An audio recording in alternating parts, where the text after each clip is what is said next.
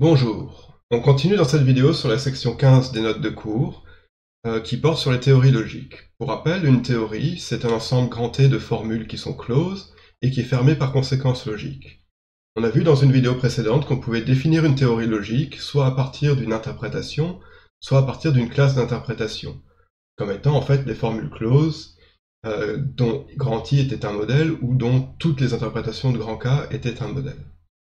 Là-dessus, j'avais posé la question, comment est-ce qu'on peut définir grand I ou grand, A, grand K lui-même? Peut-être que des fois, ça peut être un peu compliqué. Et je lui avais dit, bah, peut-être ce serait intéressant de définir ces interprétations à l'aide de formules logiques. Pour ça, j'avais défini ce que c'était qu'une axiomatisation sur la signature L, et c'est juste un ensemble de formules closes. Essentiellement, c'est la même chose qu'une théorie logique, sauf que ce n'est pas forcément fermé par conséquence logique. Et la théorie d'une axiomatisation, c'est justement ce qu'on obtient quand on ferme par conséquence logique. C'est l'ensemble des formules closes, qui sont des conséquences logiques de l'ensemble de formules closes grand A. On appelle ça du coup une théorie axiomatique. Maintenant, dans cette vidéo, on va parler de la section 15.1.3 euh, qui porte sur les interprétations normales, et on va voir dans quelle mesure on peut réellement définir une interprétation ou une classe d'interprétation à partir d'une axiomatisation. On va voir qu'en fait, c'est pas exactement ce qu'on va faire. En revanche, on va être capable de définir une théorie d'une interprétation ou la théorie d'une classe d'interprétation, encore une fois dans certains cas, à partir d'une axiomatisation. Donc ça, ça va passer par euh, des notions qui, viennent des interprétations normales. Alors déjà, qu'est-ce que c'est qu'une interprétation normale? Donc on va prendre une signature dans laquelle le symbole d'égalité apparaît parmi les symboles de relation, et on va dire qu'une interprétation sur cette signature est normale si l'interprétation du symbole d'égalité, c'est justement l'égalité sur le domaine. Alors dans beaucoup d'exemples que j'ai utilisés depuis qu'on parle de logique du premier ordre, mes interprétations avaient justement l'égalité qui était interprétée comme l'égalité. Mais c'est pas obligatoire, on a vu aussi dans la vidéo précédente que des fois, on pouvait interpréter le symbole d'égalité par quelque chose de plus faible, comme une équivalence, une relation d'équivalence, une relation de congruence.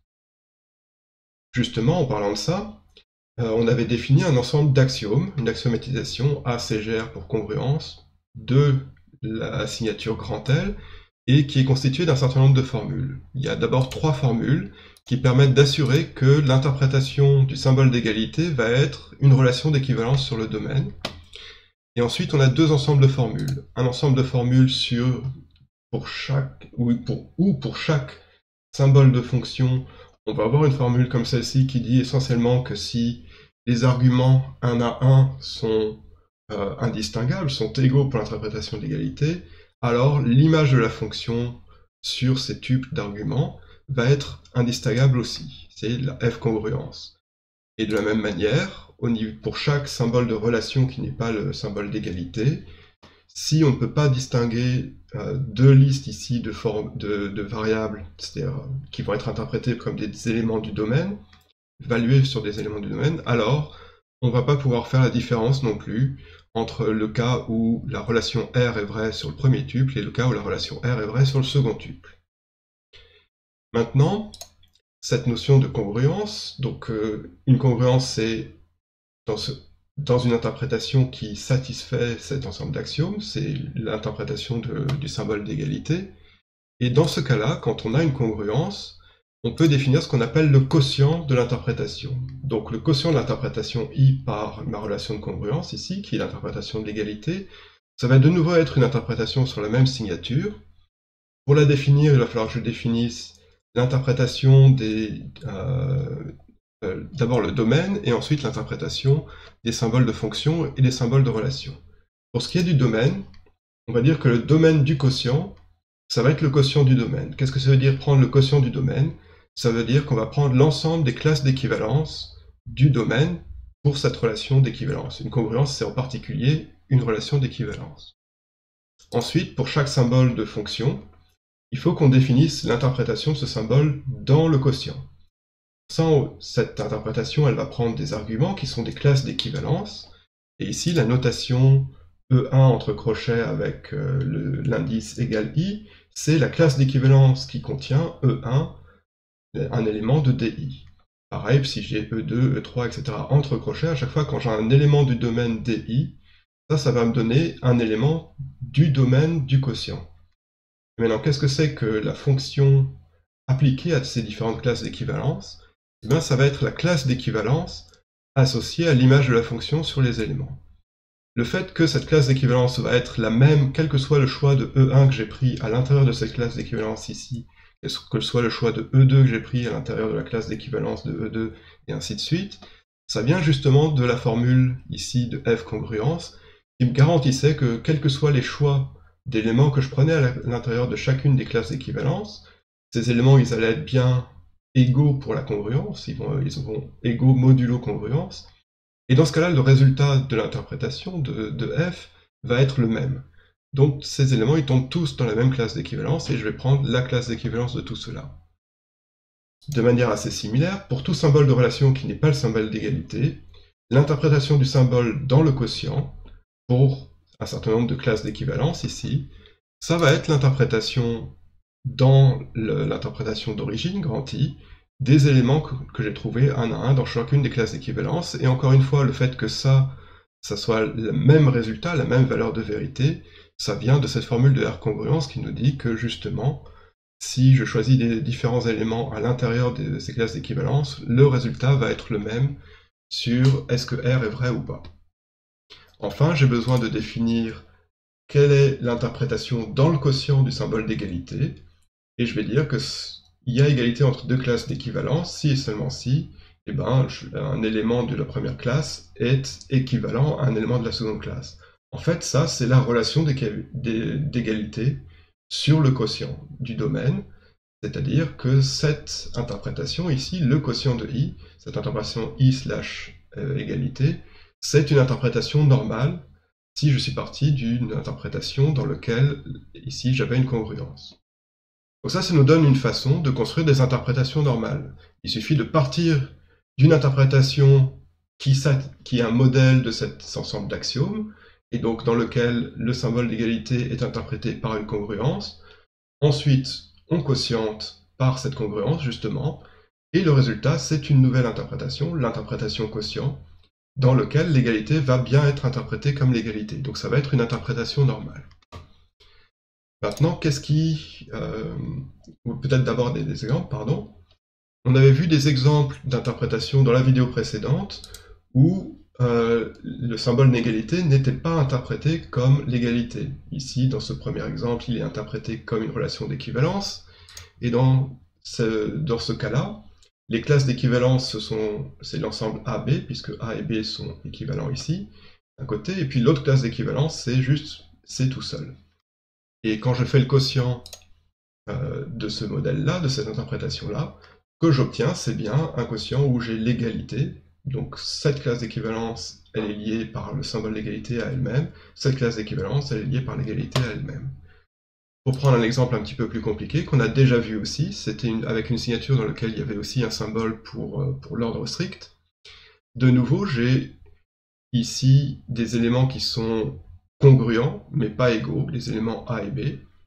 Et les classes d'équivalence que je trouve, ça va être la classe qui contient juste A et B, la classe qui contient C et la classe qui contient D. L'interprétation dans ce quotient du symbole d'égalité, ça va être l'égalité. Et l'interprétation de cette relation d'ordre, eh bien, ça va être la version quotientée de cette relation d'ordre. Donc vous voyez, ici on avait A et B qui étaient en relation avec C, maintenant j'ai une relation de l'ensemble AB vers la classe d'équivalence C. De même, j'avais A et B, ces deux éléments étaient en relation avec D, ils étaient tous les deux plus petits que D. Maintenant, j'ai une relation entre la classe d'équivalence qui contient A et B et la classe d'équivalence de D. Donc on a vu qu'on pouvait construire une interprétation normale à partir d'une interprétation dans laquelle euh, l'interprétation de l'égalité était une congruence.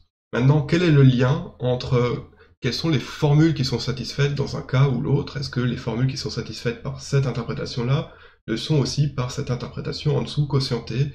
Et pareil ici, les formules satisfaites par cette interprétation là-haut, est-ce qu'elles le sont encore dans l'interprétation quotientée et inversement d'ailleurs?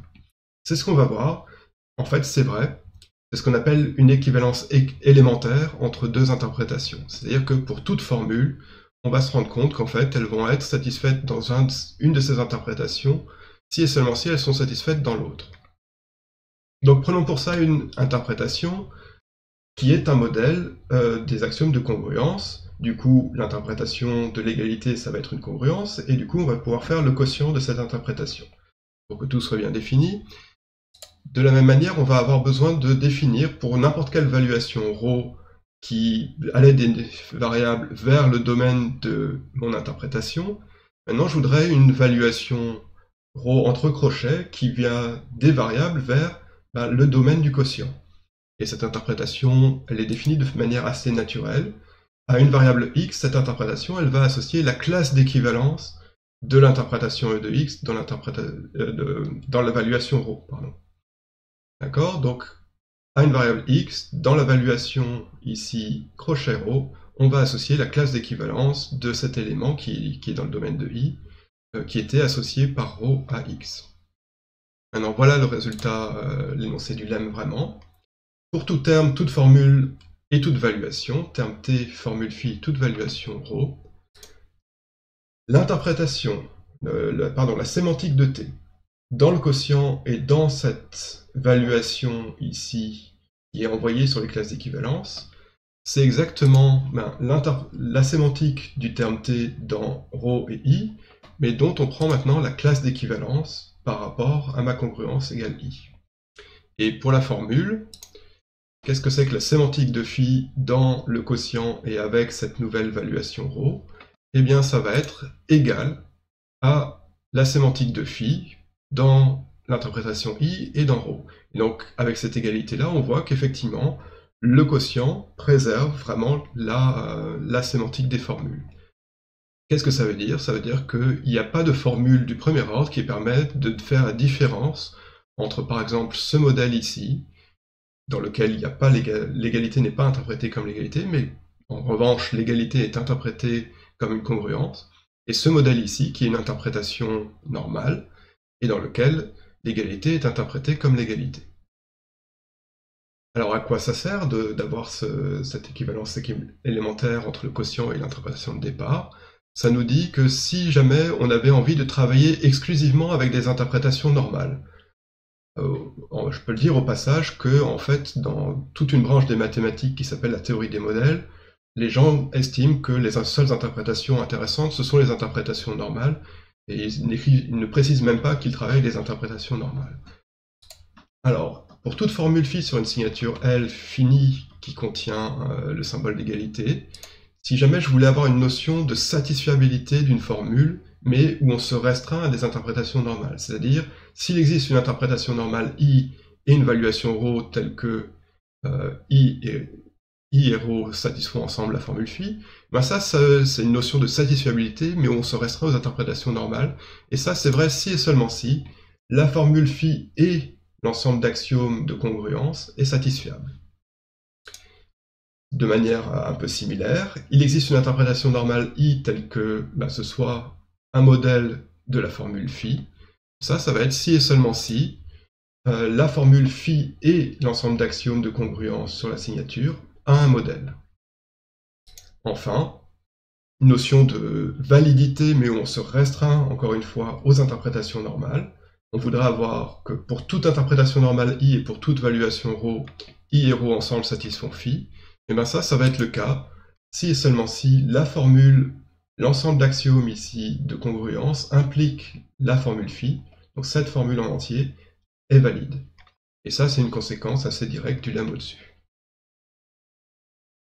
Donc ça nous dit qu'on peut raisonner en termes de satisfiabilité, existence de modèle et, validité, mais où on se restera aux interprétations normales, et c'est possible en utilisant les axiomes de congruence. Maintenant, euh, je vais passer à un exemple qui va répondre à la question du début de la vidéo. Quand on a une théorie d'une interprétation, est-ce qu'il est possible de construire une axiomatisation telle que, en fait, cette axiomatisation vraiment euh, décrive exactement ce qui est vrai dans cette interprétation I Alors c'est possible lorsqu'on travaille avec une structure finie. C'est possible aussi dans d'autres cas, mais en tout cas dans le cas des structures finies, c'est toujours possible. Donc je vais prendre un exemple pour vous montrer comment on peut procéder voici une signature où j'ai un symbole de constante A, un symbole de fonction unaire G, un symbole de relation binaire R et un symbole pour l'égalité. Et une interprétation I de domaine, ben, je vais avoir deux éléments A et B. L'interprétation de la constante A, ça va être l'élément A du domaine. L'interprétation du symbole de fonction G, ben, quand on lui donne l'argument A, ça va nous retourner B, et quand on nous donne l'argument B, ça va nous retourner B aussi. L'interprétation de la relation R, ça va être la paire BA, et l'interprétation de l'égalité, ça va être l'égalité sur le domaine. Donc j'ai ici une figure qui représente tout ça de manière peut-être plus lisible. A est égal à elle-même, B est, égal, est un élément égal à lui-même. F nous fait passer de A à B et de B à lui-même. En revanche, la relation R nous fait revenir de B à A. Alors, ce qu'on voudrait, c'est décrire une axiomatisation A de I, telle que la théorie de AI soit égale à la théorie de I. On va voir après que c'est le mieux qu'on puisse espérer, mais ça nous suffit en réalité, puisque ce qu'on cherchait, c'était une façon de décrire la théorie d'une interprétation en utilisant des formules logiques. Et cette axiomatisation AI répond réellement à cette demande. Donc comment est-ce qu'on va faire? Alors déjà, on va mettre dans AI, on va mettre tous les axiomes de congruence sur la signature. Donc euh, réflexivité, symétrie, transitivité du symbole d'égalité, congruence pour le symbole de fonction f et congruence pour le symbole de relation R. La congruence pour le symbole de fonction A, qui est une constante, il n'y a rien à écrire en fait. Ça nous dit juste A égale A, donc c'est un peu, un peu immédiat, c'est pas la peine de l'écrire. Maintenant, on va rajouter une nouvelle formule, que je vais appeler phi et qui va décrire exactement, d'une part, le domaine de cette interprétation, et d'autre part, comment sont interprétés ben, A, G Alors, pour ce qui est du domaine, puisque j'ai déjà un symbole de constante A, j'ai juste besoin d'avoir quelque chose qui me permet de parler de cet élément B qui apparaît dans le domaine. Donc je veux dire qu'il existe une variable ici, xb, qui va être euh, associée dans l'idée à cet élément B. Alors déjà, qu'est-ce qui est vrai de cette euh, variable, de cet élément? Ben, c'est pas le cas que xb soit égal à a. J'ai deux éléments distincts à l'intérieur de di, donc ça c'est un premier début d'une formule qui me garantit ça. Ensuite, je veux garantir que tous les éléments du domaine sont égaux à a pour l'interprétation du symbole d'égalité, donc euh, égaux à a ou à b. Donc pour tout x, soit x égale a, soit x égale xb, sachant que xb dans l'idée va être envoyé sur cet élément b. Ensuite, je vais décrire euh, l'interprétation de G. Qu'est-ce que c'est? Moi, je vais dire, euh, j'ai écrit F ici, c'est une erreur.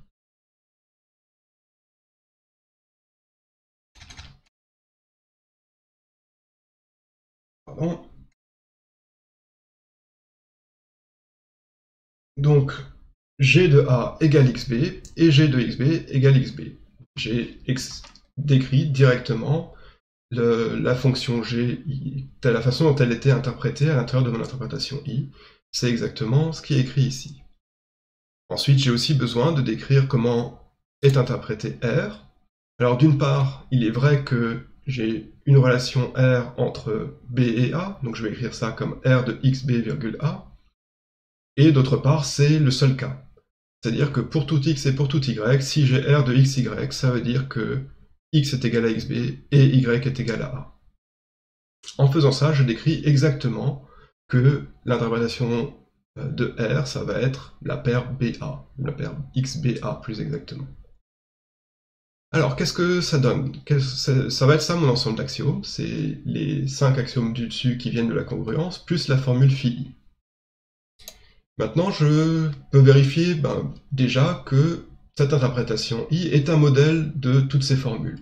Alors oui, effectivement, la relation d'égalité est une congruence, puisque c'est la relation d'égalité, c'est toujours une congruence. Donc toutes ces cinq formules ici sont, vérifiées, sont satisfaites. Et maintenant, la formule phi i, ben oui, il suffit que je mets, j'envoie xb sur b, et ensuite c'est bon.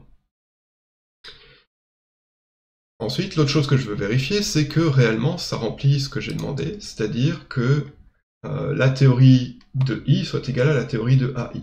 Et ça, c'est vraiment le mieux qu'on puisse aspirer, parce qu'il existe des interprétations I' qui ne sont pas la même que I, mais qui sont aussi des modèles de cet ensemble de, formules. Et bon, on peut imaginer ce que c'est. Il suffit en fait de trouver une interprétation dans laquelle euh, je vais avoir plusieurs éléments qui vont être équivalents et qui vont se comporter comme A, ou plusieurs éléments qui vont être équivalents mais qui vont se comporter comme B. Par exemple, voici euh, une interprétation I' qui va vérifier toutes ces formules ici. Ici, j'ai deux éléments euh, A et C qui sont équivalents pour l'interprétation du symbole d'égalité, et c'est bien une congruence. Vous voyez que A et C ont la même image par F, et que la relation R, euh, elle tient entre B et A et B et C, c'est bon. Et dans cette, euh, dans cette interprétation, donc, l'égalité sur I', c'est bien une congruence, et I' est bien un modèle de phi I, on peut vérifier point à point, ben, il existe XB, je vais l'envoyer sur B, tel que c'est pas le cas que xb soit égal à l'interprétation de A, qui est A toujours, effectivement, et quel que soit x, x égale A ou x égale xb, ben, A égale A, C égale A, et euh, B égale xb. Donc c'est bon, et ainsi de suite, on peut vérifier une après l'autre que toute cette formule en entier, toutes ces conditions sont bien vérifiées. Cependant, malgré ce, ce point d'exclamation rouge, il y a un point d'exclamation vert, qui est la chose suivante, c'est que si I' est une interprétation qui est un modèle de mon ensemble de formules, alors son quotient, I' quotienté par l'interprétation de l'égalité, va être isomorphe à I. Ça peut se vérifier ici. Euh, qu'est-ce qui se passe? Je crois que j'ai fait la figure, voilà. Si je prends la classe d'équivalence qui contient A et C, ici, plus la classe d'équivalence qui contient B, euh, l'interprétation de A qui va s'envoyer sur cette classe d'équivalence, et puis je vais retomber sur exactement la même interprétation qu'au-dessus, à renommage près. Ici j'avais A et B, et ici j'ai l'ensemble AC et l'ensemble B. Mais à renommage près, c'est la même chose, c'est ce que j'appelle l'isomorphisme, c'est un renommage des éléments du domaine près. Ok, donc maintenant on va montrer que, euh, la théorie de AI, c'est la même chose que la théorie de I. Donc je veux montrer que pour toute formule phi close, phi appartient à la théorie de AI, si et seulement si elle appartient à la théorie de I. Alors par définition, phi appartient à la théorie de AI, si et puisque phi est close, ça va être si et seulement si AI a pour conséquence logique la formule phi. Alors vu ce que j'ai dit ici, la même, ça va être si et seulement si pour toute interprétation I', pardon, I', ça, c'est juste la définition de, conséquence logique, pardon. Donc, quel que soit I', si I' est un modèle de AI, alors I' est un modèle de phi. Maintenant, par rapport à ce que j'ai écrit au-dessus, I' est un modèle de AI, c'est la même chose que dire que le quotient de I' par l'interprétation de l'égalité est isomorphe à I. Et tout ça ensemble implique I' est un modèle de phi. Maintenant, ce qu'on peut faire, c'est appliquer le lemme 15.5, parce que si I' est un modèle de phi, ça va être la même chose que dire que I' quotienté est un modèle de phi par le, par le lemme précédent. Et là maintenant, on est en train de dire que pour tout I', si son quotient est isomorphe à I, alors son quotient est un modèle de phi. Mais si le quotient est isomorphe à I, c'est vraiment la même interprétation à renommage des éléments du domaine près. Donc ça va aussi être un modèle de i et dans les deux sens. Et donc tout ça, si et seulement si i euh, est un modèle de phi. Et ça, c'est la définition, puisque phi est une formule close, c'est la définition de phi qui appartient à la théorie de i. Donc ce qu'on vient de voir, c'est qu'il était possible, à partir d'une interprétation de domaine fini, d'écrire un ensemble d'axiomes, tels que la théorie de cet ensemble d'axiomes soit égal à la théorie de I. Et ça, ça répond à la question que j'avais posée dans une vidéo précédente pour motiver euh, la définition d'axiomatisation. C'est possible effectivement de définir une théorie d'une interprétation, et on peut le faire aussi pour euh, une classe d'interprétation souvent, euh, à l'aide d'une axiomatisation. C'est pas toujours possible, mais souvent ça l'est, en particulier dans le cas d'une interprétation de domaine fini. On vient de voir un exemple, et en réalité ça se généralise assez facilement.